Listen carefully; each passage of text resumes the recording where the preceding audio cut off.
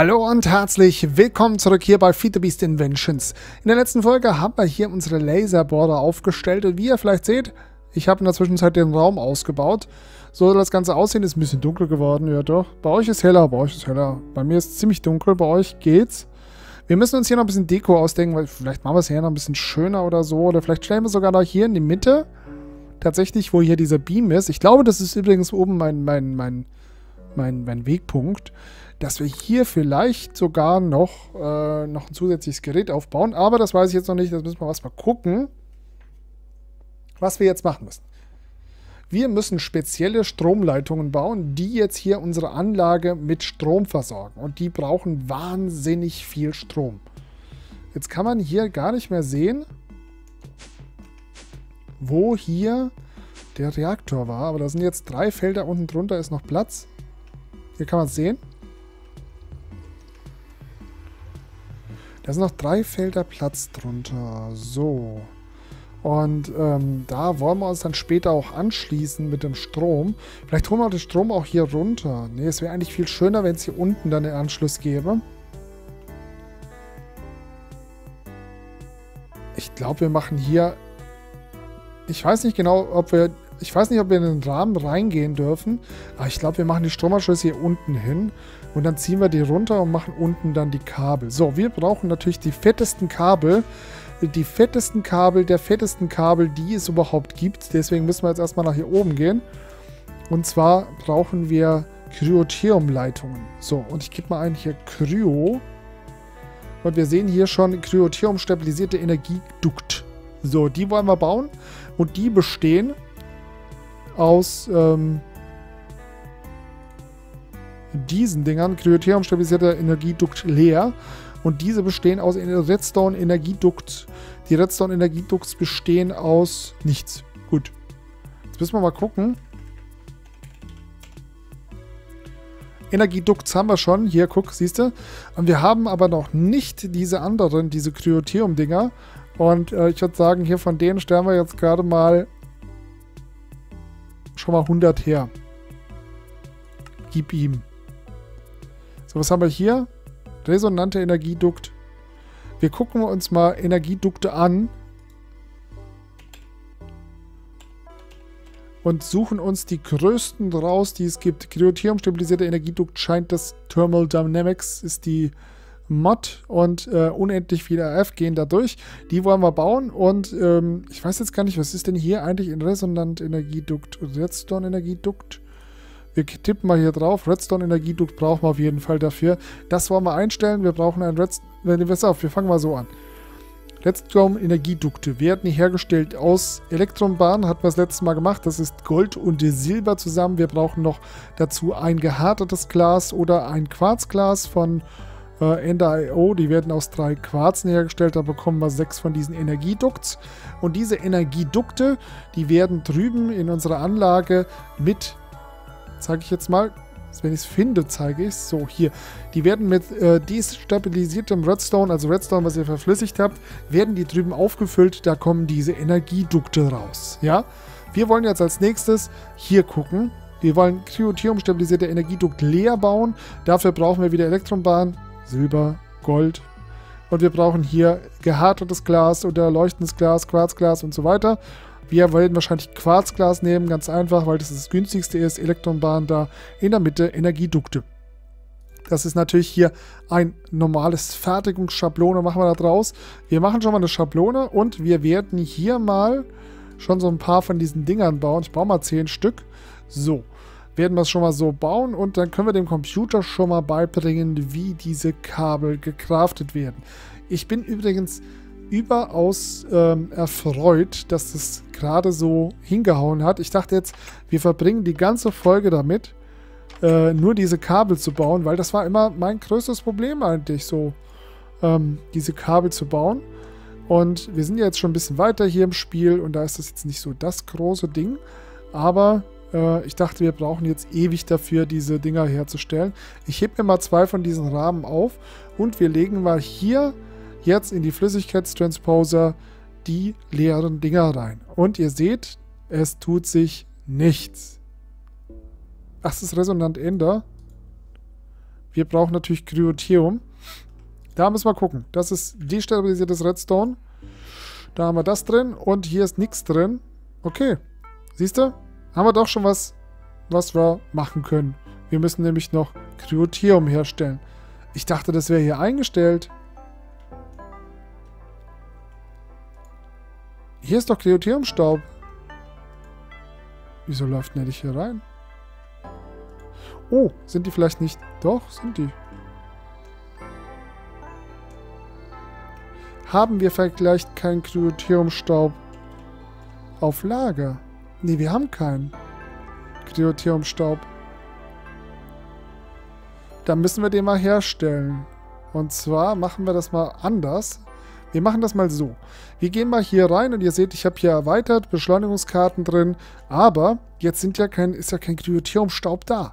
Deswegen werden wir jetzt mal folgendes machen. Wir suchen uns eine Fertigungskonsole, äh, Fertigungskarte, so, da sehen Sie, Fertigungskarten und die nehmen wir uns mal raus und hier Basalt kann weg, das kann weg, das kann weg, das kann weg, das kann weg.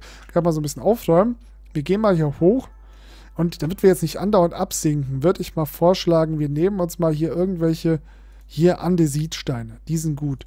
So, wir nehmen uns mal die Andesitsteine und bauen uns mal hier hoch. So, der kann wieder weg. Und wir bauen uns mal hier hoch. So, jetzt kann ich nämlich hier in Ruhe stehen. Wir können hier schon rausgucken. So sieht es draußen aus. Ja, wir spielen gerade ohne Shader, deswegen sieht es ein bisschen doof aus mit dem Wasser. Aber egal. Wir sind jetzt hier bei unserem Exportbus und da steht drin, Kryotheumstaub soll er exportieren, ziemlich schnell sogar, aber es kommt nichts an, weil wir keinen Kryotheumstaub haben. Deswegen nehmen wir uns so eine Fertigungskarte hier und legen die dazu. So, jetzt haben wir hier ein neues Menü für Fertig Fertigungsverfahren. Beim Export gelagerte Items verwenden oder fertigen. So, da wir jetzt keinen Kryotheumstaub hatten, macht er da jetzt automatisch, wenn wir ein Crafting-Rezept haben, wird das automatisch hergestellt. Jetzt gucken wir uns natürlich noch ein, wie wird Kryotheumstaub hergestellt, denn das ist nicht ganz so einfach.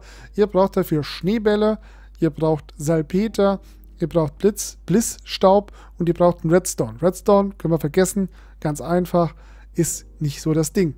Ja, Schneebälle, das ist schon eine etwas größere Sache, denn wenn du jetzt irgendwie im Wüstenbiom bist, wo willst du Schneebälle hernehmen? Da nimmst du dir folgendes, wir gehen mal hier vorne hin, ich mache mal den Hover aus. Und wir gucken mal hier vorne bei dieser Anlage, die ist gerade abgeschaltet, das ist ein Glacier, äh, Glacial Prepa Präkipitator, Glacial Präpitikator ja, gut. Der macht jedenfalls aus Wasser, macht er Schneebälle, der macht Schnee oder macht hier Eis. Wenn ich den jetzt auf Eis einstelle, dann produziert er uns Eis. Er ist gerade ausgeschaltet. Ich weiß gar nicht, wie ich ihn ausgeschaltet habe. Ich glaube, ich habe hier gesagt, äh, genau, dass er mit Redstone laufen soll. Wenn ich jetzt wieder auf Ignorieren stelle, wird jetzt hier gekühlt und wir bekommen hier Eis raus. So. So wird hier Schnee hergestellt. So, hier seht ihr Eis. Jetzt wird Schnee hergestellt. Wenn ich hier drauf stelle, kommt, kommen gleich Schneebälle. Da kommen die Schneebälle. Und wir schalten wieder aus, denn wir haben eine ganze Menge Schneebälle auf Lager. Das gucken wir uns hier mal im Computer an. So, ich tippe mal, oh, ich tippe mal hier oben ein Schnee.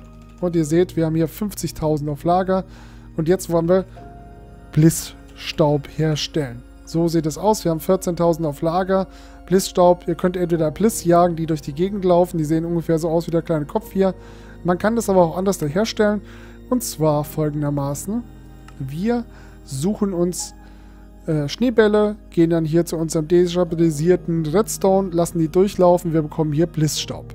So einfach geht das. So. Das waren die Sachen. Salpeter bekommt ihr in der Wüste. Äh, müsst ihr mal gucken, das sind so weiße Kristalle, die sind auf dem Boden am zu, zu sehen beim ähm, beim Sandstein, genau. Beim Sandstein findet ihr Salpeter oder wir gucken mal nach, ob man Salpeter noch anders herstellen kann. Salpeter. Und wir gucken mal nach. Salpeter ist von Raycraft und da haben wir Salpeter von Thermal, Thermal Foundation. Hier sieht man Salpeter Arts kommt, ähm, ist jetzt von Redstone, ist jetzt von Railstone, Oh. Ist jetzt von Raycraft, aber gibt es auch von Thermal. So, wir gehen mal hier weiter. Wir können hier Schwarzpulver nehmen. Im Zerstörer bekommen Salpeter raus. Wir können den Pulverisierer nehmen. Hier äh, Steinstufen, glatte Steine, Sandsteine und so weiter äh, zertrümmern lassen. Dabei kommt auch Salpeter raus. Wir können in der Säckmill äh, das Salpeter Arz. Hier ist das, was ich gesucht habe. Hier Sandstein, Sandstein können wir hier zerkleinern lassen. Wir bekommen auch da Salpeter. Im Malwerk kannst du Blissrouten machen, aber das geht sowieso. Hier, guck. Äh, Salpeter Arzt, das wollen wir nicht. Wenn du kein, nämlich kein Salpeter findest, das war bei mir am Anfang so, da ist es ein bisschen schwierig, das zu finden. Hier sieht man es, in der Zentrifuge kriegst du aus Seelensand auch so Zeugs raus, Industrial Grinder. Es gibt also viele Möglichkeiten, das Zeug herzustellen. So, wir, wir haben jetzt dazu das Zeug hergestellt. Und hier wird auch produziert.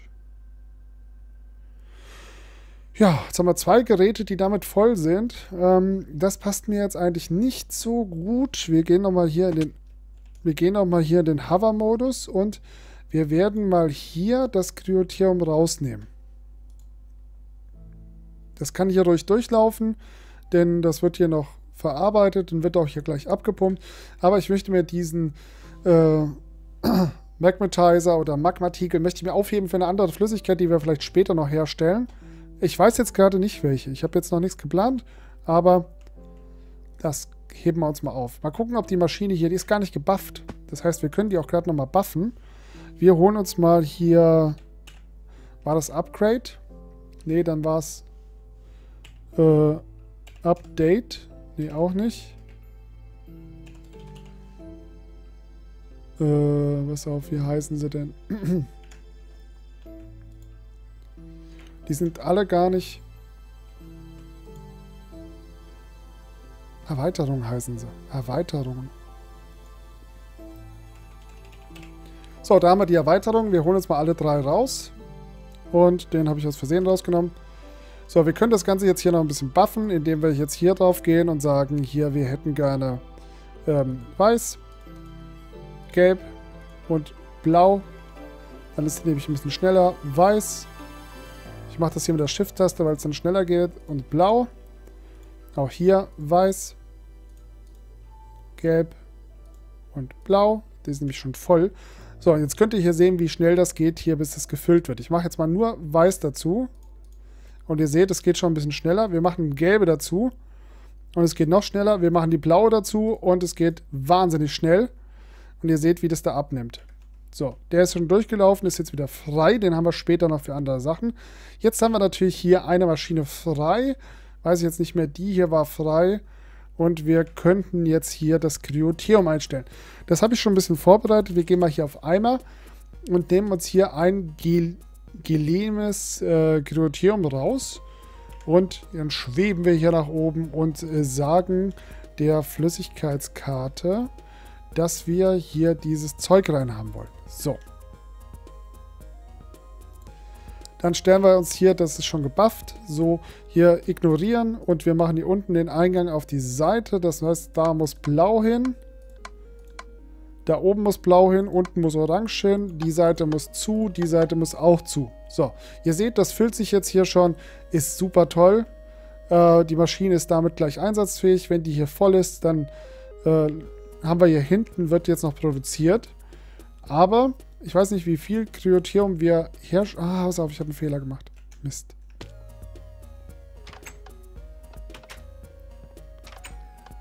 Du, die, du, die, du. Wir haben einen Fehler gemacht. Sekunde, wir müssen das nochmal ganz kurz stoppen. Was sagt die Zeit? 14 Minuten. Ja, pass auf.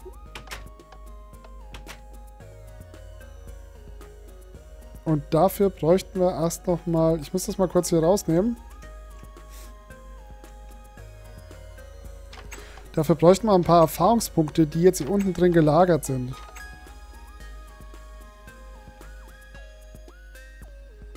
Ich hole mir noch mal einen Eimer. Und jetzt mache ich mal was Experimentelles. Wir klicken mal hier drauf. Geht das? Wir hauen mal den Stein weg. Und klicken mal auf unseren Tank mit dem Eimer. So, wenn ich jetzt hier gerade mal Erfahrungspunkte brauche. Kann ich das auf den Boden schütten? Nee,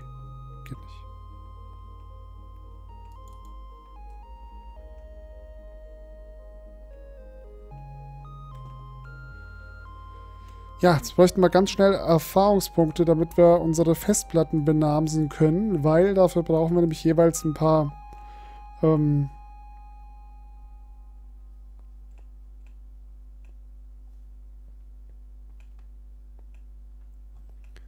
Dafür brauchen wir Erfahrungspunkte. So, jetzt muss ich mal oben gucken, wie machen wir das denn? Wir können eine XP-Dusche bauen, das weiß ich. Ähm, ich weiß jetzt nur nicht, habe ich das schon im System? XP, habe ich das schon im System? Äh, ist noch nicht im System. Wir haben hier natürlich jetzt folgendes Problem. Wir haben hier oben ganz viele Flüssig Flüssigkeitsfestplatten und die sind alle, glaube ich, festgelegt. Genau. Und jetzt müssten wir die eigentlich alle umbenennen, damit wir jetzt sehen können, was hier drin gespeichert ist. Und ähm, bei vielen Sachen ist es wahrscheinlich übertrieben, dass es so voll ist. Da hätte eine kleine Festplatte gereicht. so, wie machen wir das jetzt? Wir holen uns mal die obersten zwei raus und gucken uns die mal an. Dafür gehen wir hier zu unserer Zellenwerkbank und legen die rein. Hier drauf ist gespeichert Lava. Das ist okay. Jetzt müssten wir die gerade benennen. Hier ist Teeröl drin. Das müsste auch schon so groß sein, weil nämlich Teeröl ist so ein Abfallprodukt und das Abfallprodukt musst du erstmal entsorgen. Es wäre halt schön, wenn wir jetzt Erfahrungspunkte hätten. Mist. Wie kann ich denn jetzt hier so... Ah, pass auf. Wir können vielleicht Fläschchen herstellen. Fläschchen. Und zwar die da. Nee. Wie kriegen wir denn jetzt Erfahrungspunkte zurück? Mist.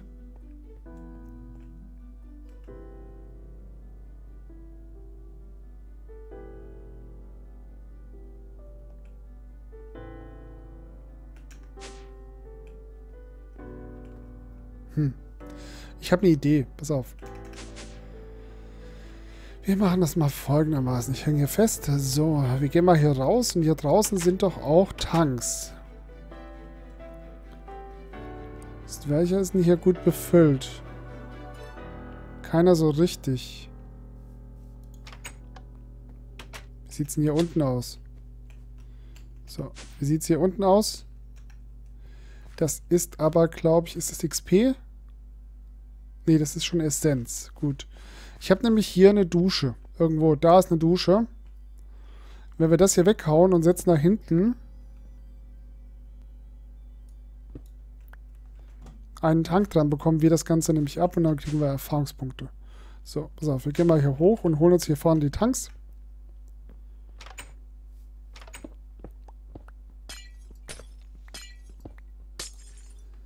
So, jetzt machen wir folgenden Trick. Wir stapeln die kurz.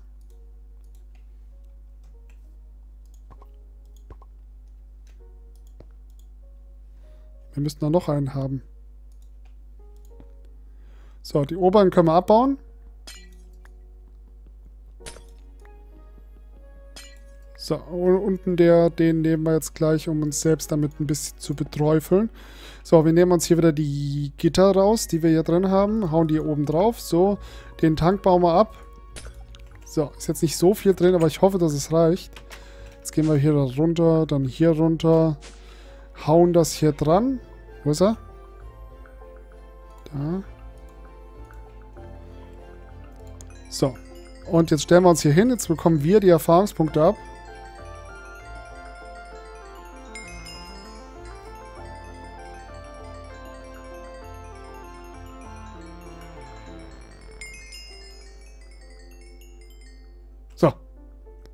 Das war's. Dann bauen wir hier unsere Anlage gleich wieder zurück. Hier muss der Tank hin. Äh, so. Und dann muss hier vorne ein Stein davor. Der wird da dran gesetzt. So. Jetzt gehen wir hier hoch und machen unsere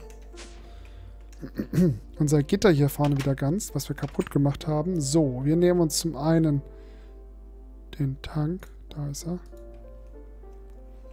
So, Tank dahin und ein Deckelchen drauf. Da ist das Gitter. So, das wäre repariert. Wir gehen wieder rüber. Und dann werden wir erstmal die Festplatten oben gerade mal so ein bisschen... Ich bleib da immer hängen.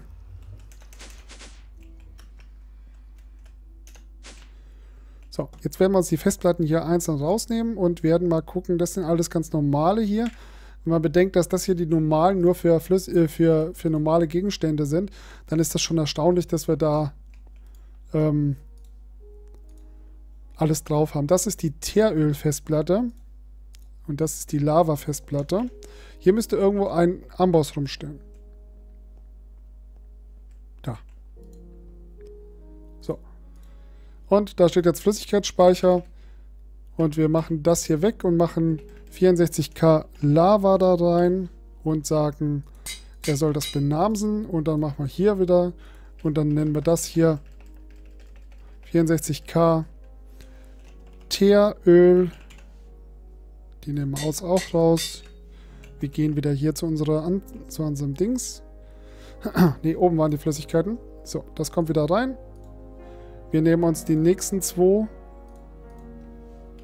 Oder wir nehmen uns gleich vier. So, die erste ist Cryotheum. Die nächste ist Teeröl. Ja, das passt mir nicht so richtig. Okay, die machen wir gleich leer. Dann haben wir hier die nächste. Da ist drauf resonantes Ender. Und hier haben wir drauf destabilisiertes Redstone. Sehr gut. Wir gehen wieder hier zu unserem Amboss. Und legen die hier rein. Das ist eine 1K-Festplatte. Das ist resonantes Ender. Äh, Moment. Resonant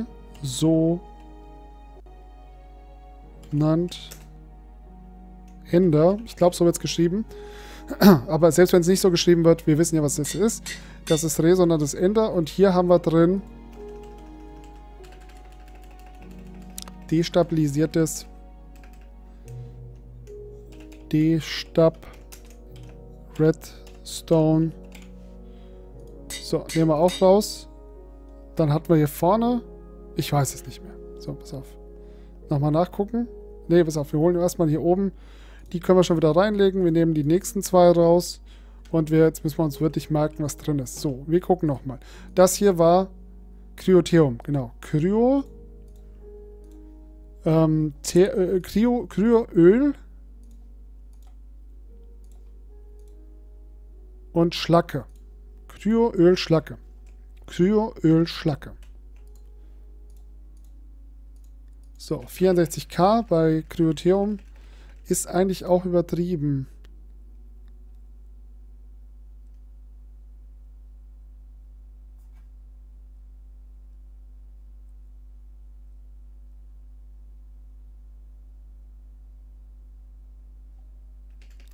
Jetzt haben wir es aber schon fertig? Oder sollen wir eine kleine bauen?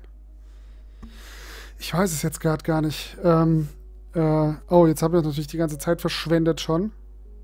Ähm,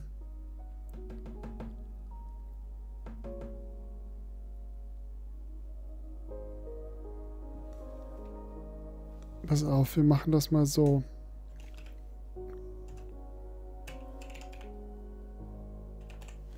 So, wir nennen die mal Kryotheum. So, die heißt Öl.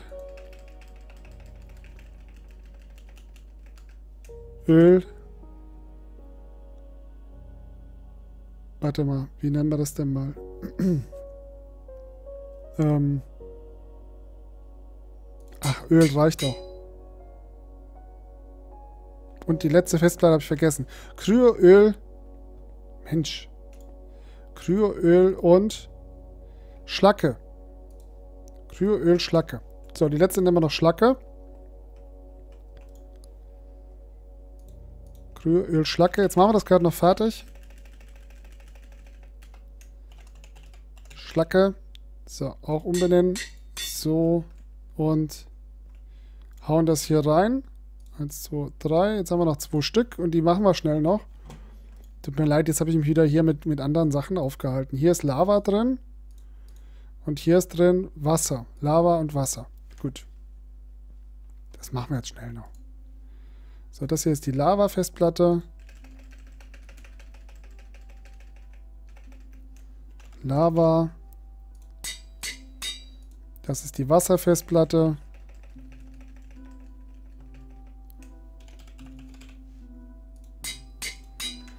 So, jetzt brauchen wir noch eine 1K Flüssigkeitsfestplatte. Äh, 1K Und da haben wir die 1K normal. Und wir nehmen uns mal hier noch, wir lassen uns mal eine bauen.